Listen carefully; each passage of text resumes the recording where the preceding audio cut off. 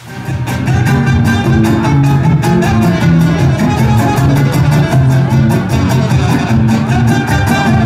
je danas grad Rijeka na, evo, na tržnici i evo to je čudesna maneštra, pa su se mnogi pitali šta čudesna. Kao ono, ba joj, maneštra je jedno full klasično jelo, to si radimo doma, ali ne ovako.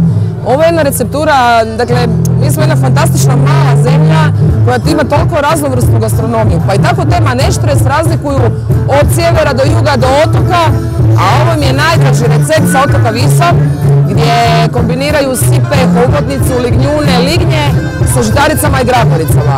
Otišlo je preko 300 porcija ovoga maneštre, a napravili su malo domaće šalše s paštom za klince. Isto bilo je danas tu jer je bio fantastičan cirkuski program, isto imali ste prilike vidjeti. A ništa bez pjesme, evo čuje se u pozadini. Dobro jutro Hrvatska, dolazi sunce s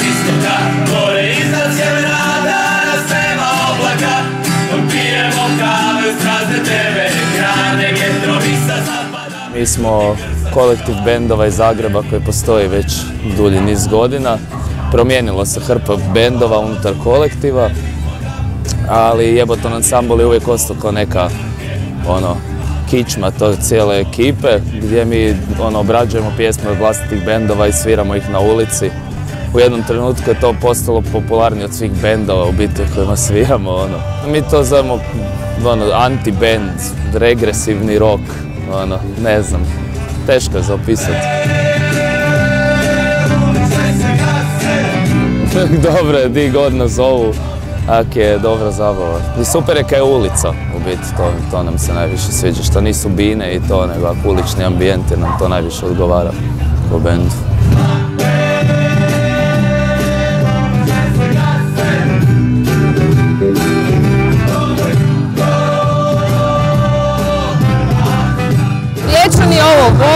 Riječanima ovo treba, Riječanima ovo treba sve češće.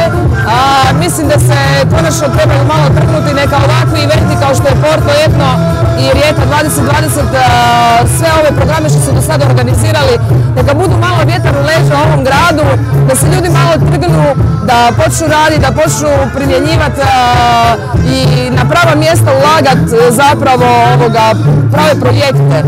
Ovoga, šta je jedan grad, a to su ljudi. Dakle, dajmo tu malo slađimo i daj neka to sve malo ono bude veselije i šarenije. I mislim da baš Rijeka ono, ima razloga biti ponosna. kažem, nadam se samo da će zaživiti, da će se još više nastaviti ovakvi tipovi pregleda, ne samo za gastronomiju, ima tu puno drugih ovoga elemenata, ali svakako evo sve ove dane smo živali u Porto